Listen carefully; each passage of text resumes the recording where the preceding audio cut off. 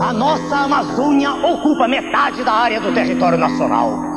Floresta, bacia hidrográfica, potencial energético, riquezas do subsolo, tudo lá é gigantesco. A Amazônia faz de nós o país mais rico do mundo e essa é a verdadeira razão porque se fala tanto no exterior na internacionalização da Amazônia. Vamos acabar com essa farsa Vamos defender o que é nosso. Vamos proteger a Amazônia dos alienígenas, tamponando todas as vias de acesso ao seu interior, inclusive o espaço aéreo, para acabar com a invasão de suas riquezas.